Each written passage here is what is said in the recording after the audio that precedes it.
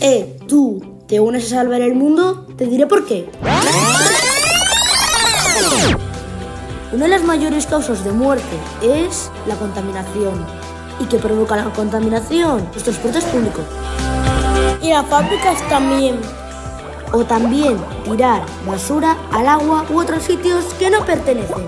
El 9% de la gente respira aire contaminado. Hace 5.600 años empezó la contaminación en este mundo. Pero hay una manera de solucionarlo. Reciclar. O utilizar productos ecológicos. Usar la y menos co- Y así todos podremos salvar el mundo. Y lo puedes hacer tú. Tú, tú, tú. ¿Te nos unes?